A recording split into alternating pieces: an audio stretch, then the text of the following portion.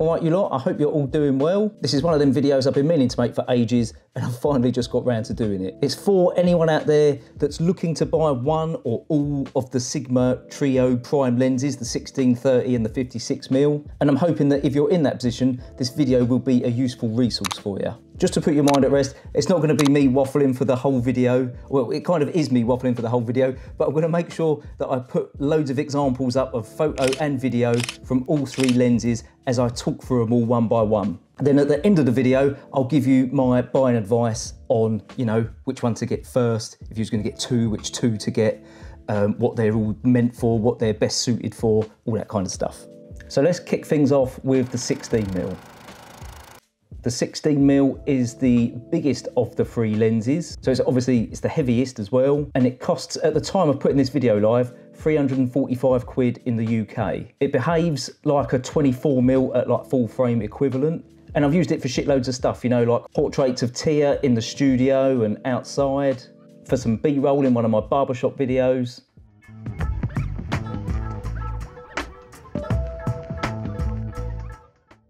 I've dabbled with a little bit of product photography with it as well. It's the lens that I'm using right now. I use it with a little Pixi little mini tripod thing. I'll put a link to that. It's super handy. I use that all the time and it's what I use to make these videos. It's the, it's the easiest thing to do. I can just plonk it on my desk, leaning in a bit. It's about a meter away from my face, something like that. It's just super handy to have for those purposes. And I've also shot an entire short film on it, which very recently got played at the Southend-on-Sea Film Festival, which I'll just show you a, a quick little 10 second blast of that.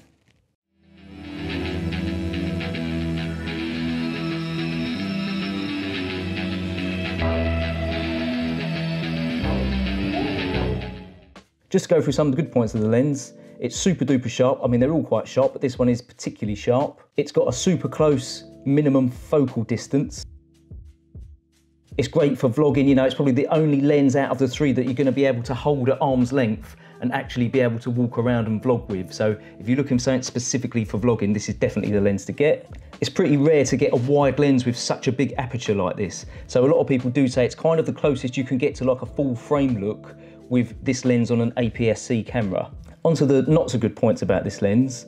You know, it's not ideal for portraits really. I don't want to tell you that you can't use it for portraits. Of course you can. You can do full length portraits with it, but if you get too close to someone and you try taking a close up, you know, like a headshot with this lens, it's going to look super distorted. I'll show you a quick example of this now.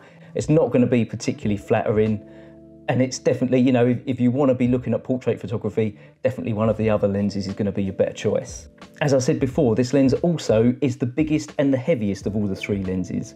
So if you're trying to look a little bit inconspicuous, this probably isn't the lens, you know. As great as the lens is, it is for my liking, it is a bit too big. It's a bit bulky. It makes the camera a little bit too top heavy, or a bit forward heavy if you like, sort of thing. Um, so it's just something to be aware of. My personal opinion of this lens, which probably isn't going to make me overly popular because I know everyone seems to really rave about this lens, but for me, it's probably my least favourite of the three. I think just for the fact that, probably for the fact I prefer shooting portraits and stuff, really. You know, I like that more kind of telescopic lens, you know, I like getting a bit more, bit more bokeh, a bit more blurry background action going on to make something look a bit more cinematic, which this lens can do, but you've got to be quite close to the subject in order to then get that background separation, which, you know, where I ideally like shooting people, it, it's not great for that because as soon as you get too close, I mean, you, as long as you've got them in the center of the frame, it's not too bad, but it is going to start making their face look a bit distorted. I also feel like the framing is a little bit boring, you know, I, I kind of think like the framing, it looks a bit like what you'd film on your mobile phone. That's the kind of field of view that you're going to get with it because you're going to fit more in the frame you've got to be aware more of what you've got going on. You know, if you've got too many distractions, you're going to pick all those up because it's got that wider field of view. So it's not really one for me. I still couldn't really live without it though, because you know, it, it's super handy, like I say, to use it on my desk and everything. So I'm pleased I've got it, but it's my least favorite of the three.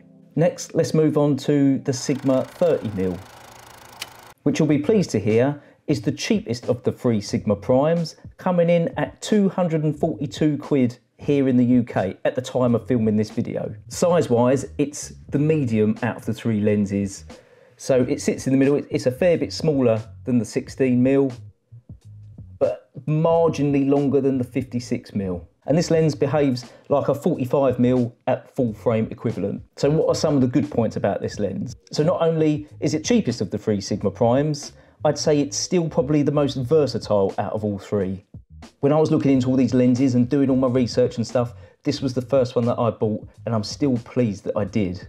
When I got it, I shot absolutely everything with it. I was shooting pictures of the kids, I shot my first barbershop video and I used it for not only the B-roll but also the interview section as well. Hairdressing back in 2003. Um, I started doing a course at Vidal Sassoon, uh, which then went on to another course and did a year's worth of training through the Vidal Sassoon Academy. I shot a newborn video for my mate. I also shot a little mini documentary for a guy that makes his own guitar effects pedals. I still use it to shoot portraits both outdoors and indoors in a studio setting, product photography. I feel like this lens literally can do the lot and it does a pretty good job of doing it as well. I also used this lens to shoot my first short film as well called The Keeper, which again was shown at the Southend Film Festival. Well chuffed that it got shown there. I'll show you a little clip of that and I'll also leave links to these short films and stuff downstairs so that you can go and check them out.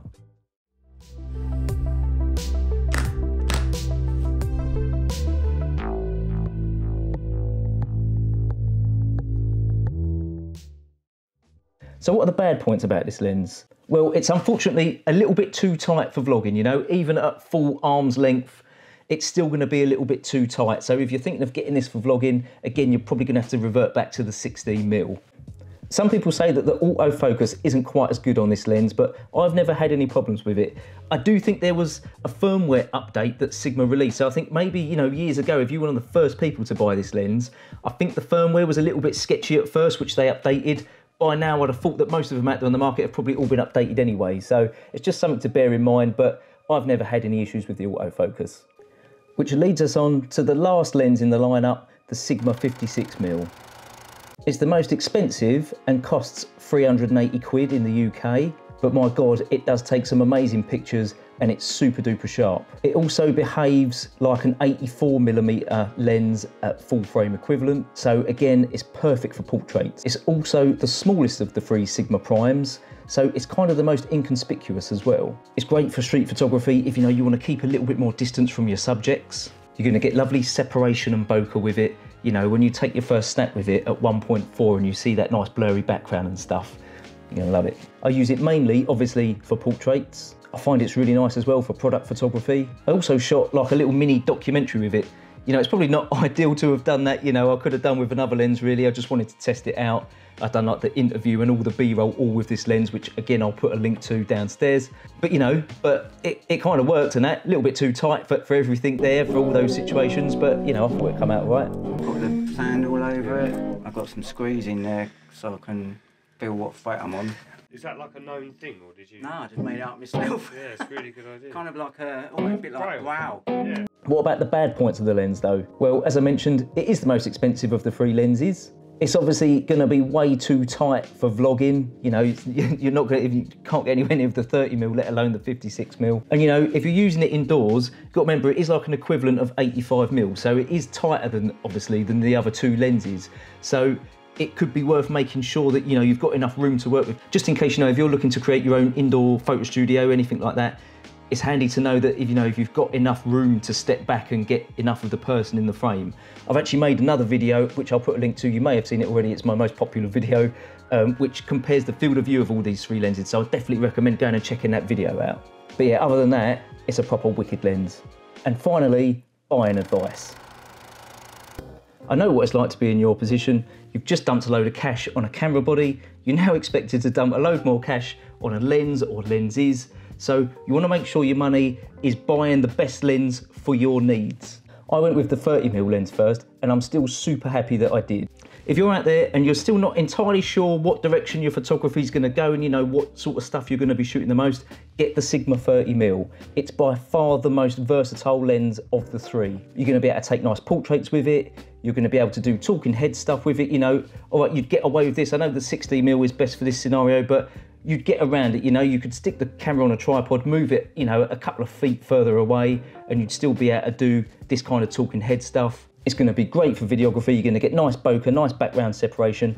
It really is the best bang for buck out of the three lenses. It's also the cheapest one. So another amazing reason to get it first. If you know, however, you know that you're just going to be doing vlogging work. You know, if that's what you're going to be doing 95% of the time is you're going to be walking around at arm's length, you know, on a gimbal or hand holding, whatever you're going to be doing, get the 16 mil. No brainer. The other two won't really fit the bill there. Get the 16 mil. Equally, if you're looking to shoot landscapes, architecture, that kind of stuff, then this lens again, the 16 mil, is going to be probably the best suited for your needs. I don't want to be the person to kind of tell you that you can't shoot landscapes with the 56mm, of course you can. I don't want to kind of stifle anyone's creativity or anything like that, you know. I just kind of want to give you the, you know, the rough kind of guidelines to what these lenses are best suited for, just so that you know you make sure your money's going in the best place. Again, if you know you specifically are going to be shooting portraits, then get the 56mm. You won't be disappointed the portraits out of it look amazing. It's super sharp, even wide open at 1.4. It's got to be probably, I think, my most favourite lens. I do really like the portraits still with the 30mm because they're, they're slightly more environmental portraits. It's quite nice, you can, you can get a little bit more of the environment in with the 30mm. So I'm almost torn myself between, you know, which one to take out for portraits, the 56 or the 30mm.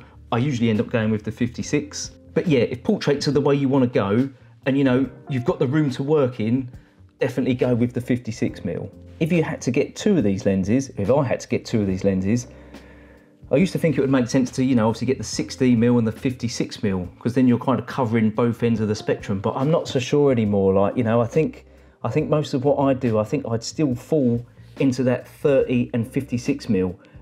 Basically, if I had to get rid of one, it would be the 16 mil for me that's not the case for everyone because I know a lot of people like to run around with the 16 mil on a gimbal and stuff, you know, and it is great for all that. But again, I just like that more telescopic look.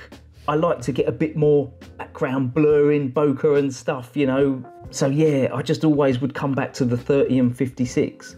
Again, you know, it's that that's just for me though, you know, look, I'm gonna kind of feel that way because I shoot more portraits. That's what I prefer shooting. But yeah, I hope I'm not just waffling now and stuff. I hope this has actually come in useful. Oh, by the way, please do like and subscribe if it has. And if you'd like to support me, you can always go through and purchase my presets. That would be amazing. My Lightroom presets and my LUTs, stuff like that. Obviously really helps to support the channel and it's very much appreciated. I think that's about it. I can't really think of anything else to say. If there's anything else you'd like to ask, please do leave a comment below and I'll see you again in the next one. Cheers.